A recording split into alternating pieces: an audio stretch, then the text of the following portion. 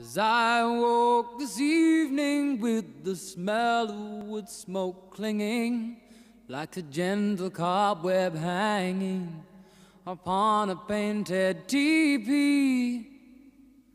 Oh, I went to see my chieftain with my war lance and my woman.